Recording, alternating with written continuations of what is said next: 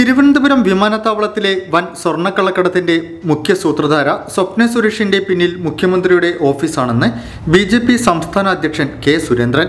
മുഖ്യമന്ത്രിയുടെ ഓഫീസിലെ I T വിഭാഗത്തിലെ ഇൻഫർമേഷൻ ടെക്നോളജി ആൻഡ് ഇൻഫ്രാസ്ട്രക്ചർ മാനേജറാണ് സ്വപ്ന സുരേഷ്. സ്വർണക്കടത്തുകാരെ കസ്റ്റംസ് കസ്റ്റഡിയിലെടുത്തപ്പോൾ ആദ്യം വിളിയെത്തിയത് മുഖ്യമന്ത്രിയുടെ ഓഫീസിൽ നിന്നാണ്. ഇവർക്ക് മുഖ്യമന്ത്രിയുടെ പ്രിൻസിപ്പൽ ഐ ടി സെക്രട്ടറി ശിവശങ്കറുമായി അടുത്ത ബന്ധമാണുള്ളത്. രാജ്യസുരക്ഷയെ പോലും ബാധിക്കുന്ന ഇക്കാര്യത്തിൽ മുഖ്യമന്ത്രി നിലപാട് വ്യക്തമാക്കണമെന്നും സുരേന്ദ്രൻ കോഴിക്കോട് നടത്തിയ വാർത്താ സമ്മേളനത്തിൽ ആവശ്യപ്പെട്ടു. ഈ സ്വർണക്കള്ളക്കടത്തിന്റെ സൂത്രധാരകയായിട്ടുള്ള വ്യക്തിയുമായി സംസ്ഥാന മുഖ്യമന്ത്രിയുടെ ഓഫീസിന് വളരെ അടുത്ത ബന്ധമാണുള്ളത്. മുഖ്യമന്ത്രി നേരിട്ട് കൈകാര്യം ചെയ്യുന്ന ഐ ടി വകുപ്പിലെ ഒരു സുപ്രധാന ചുമതലയിൽ ഇരിക്കുന്ന വ്യക്തിയാണ് ഇപ്പോൾ പുറത്താക്കപ്പെട്ടെങ്കിലും ഇന്നിപ്പോൾ അഞ്ച് മിനിറ്റ് മുമ്പ് അവരെ ആ തസ്തികയിൽ നിന്ന് പുറത്താക്കിയെന്നാണ് പറയുന്നത്. പക്ഷേ മുഖ്യമന്ത്രിയുടെ ഓഫീസിൽ വളരെ സുപ്രധാനമായിട്ടുള്ള ഒരു ചുമതലയിൽ ഇരുന്ന ആളാണ് ഈ സ്വർണക്കള്ളക്കടത്തിന് നേതൃത്വം നൽകിയത്.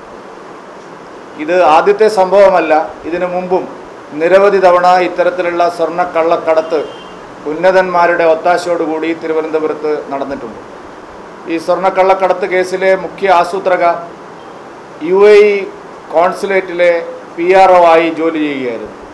അവിടെ നിന്ന് പിരിച്ചുവിടപ്പെട്ട ഈ വ്യക്തി അധികം വൈകാതെ മുഖ്യമന്ത്രിയുടെ ഓഫീസിൽ ഐ ടി വകുപ്പിൽ സുപ്രധാനമായിട്ടുള്ള ചുമതലയിലെത്തുകയായിരുന്നു.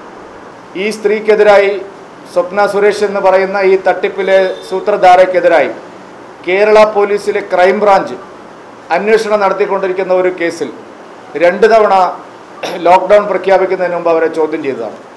ഇത്തരം ഗുരുതരമായിട്ടുള്ള വിവരങ്ങൾ മുഖ്യമന്ത്രിയുമായി ബന്ധപ്പെട്ട ഉന്നതന്മാരുടെ ഓഫീസിൽ ഇവർ സ്ഥിരമായി കയറി ഇറങ്ങുന്നു എന്നുള്ള പോലീസിന്റെ സ്പെഷ്യൽ ബ്രാഞ്ചിന്റെ കണ്ടെത്തൽ എങ്ങനെയാണ് അവഗണിക്കപ്പെട്ടത്?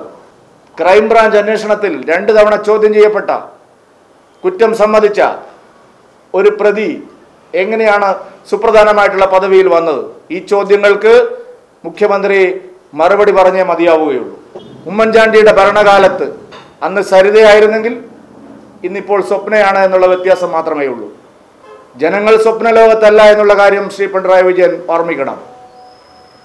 അതുകൊണ്ട് കഴിഞ്ഞ കാലത്ത് യു ഡി കാലത്ത് മുഖ്യമന്ത്രിയുടെ ഓഫീസ് ദുരുപയോഗപ്പെടുത്തുന്നതിനായി ശക്തമായ രാഷ്ട്രീയ നിലപാട് സ്വീകരിച്ച സി പി ഐ എം ഇപ്പോഴെന്താണ് ഈ കാര്യത്തെക്കുറിച്ച് അവർക്ക് പറയാനുള്ളത് എന്ന് ഞാൻ ചോദിക്കാൻ ആഗ്രഹിക്കുകയാണ്. ഈ ന്യൂസ് കോഴിക്കോട്.